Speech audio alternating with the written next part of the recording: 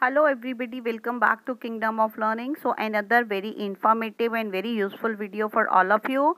And if you have not subscribed to kingdom of learning yet do it fast because on daily basis we are providing you complete guidance and support.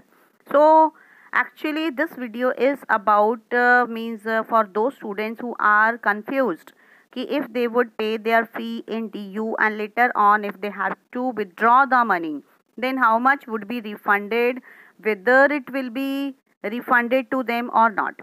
तो यहाँ पर एक बात सबसे पहले ये जान लेनी चाहिए उन स्टूडेंट्स को जो कंफ्यूज हैं कि अगर वो डी की क्योंकि पूरे साल की फ़ी आपको पे करनी होती है तो अगर आप अभी पे कर देंगे तो वो आपकी वापस होगी या नहीं होगी।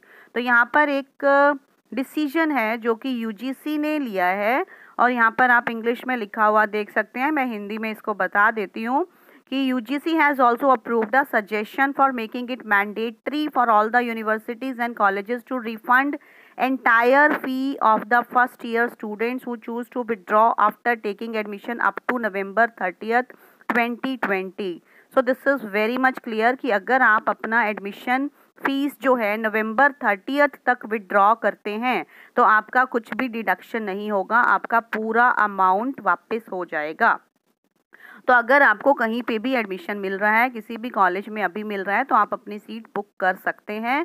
तो अब इसका मीनिंग क्या है? To be crystal clear the entire fees including all charges shall be refunded in totality with zero cancellation charges on account of cancellation or migration up to November 30th 2020 a UGC official said. So on cancellation or withdrawal of admissions up to December 31st means thirty first दिसंबर तक final decision लेना है। आपके पास अभी बहुत time है। तो बिना किसी परेशानी के, बिना किसी डाउट के आप अपनी सीट्स बुक कर सकते हैं। आपको जहाँ भी अभी किसी भी अच्छे कॉलेज में, आपके फेवरेट कॉलेज में या कोर्स में एडमिशन मिल रहा है। आप वहाँ पर पूरे साल की फ़ीस पे करके एडमिशन ले सकते हैं। And later on if you want to change your course और कॉलेज बाद में आपको लगता है कि आपको बेटर कॉलेज या कोर्स मिल रहा है तो आप उसको चेंज भी कर सकते हैं। और उसके अलावा अगर आप बाद में कहीं आईपी में जाना चाहते हैं या किसी और प्राइवेट यूनिवर्सिटी में जाना चाहते हैं तो भी आप अपना एडमिशन डीयू से विड्रॉ करवा सकते हैं।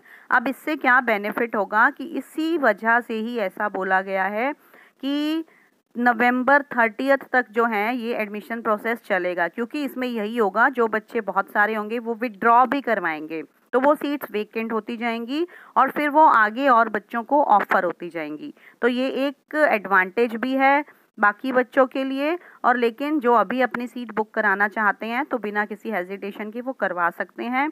तो I think this information is useful for all of you so do share this video with others also. And if you have not subscribed to the channel yet do it fast and yes don't forget to like the video